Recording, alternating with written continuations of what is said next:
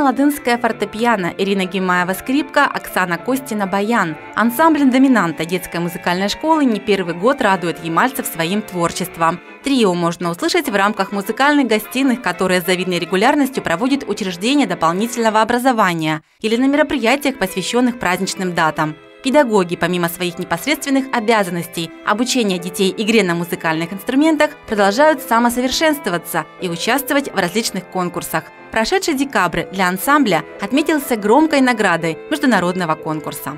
Мы стараемся участвовать в конкурсах каждый год.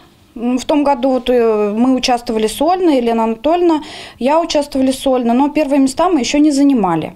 Для интернет-конкурса представительницы музыкальной школы выбрали композицию Романа Бажилина «Карамельный аукцион». Ее, кстати, вы могли слышать в начале нашего сюжета.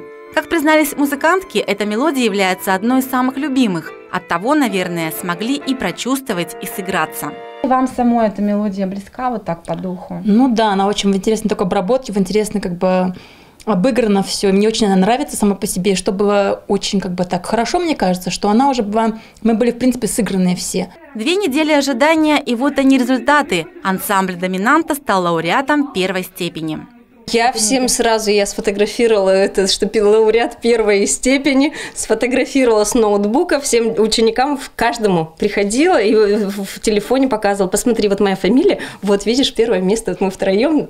Вы что, конечно, как такое скрыть? Что? Родных детей. Что они вам на это говорили? Как О, хорошо.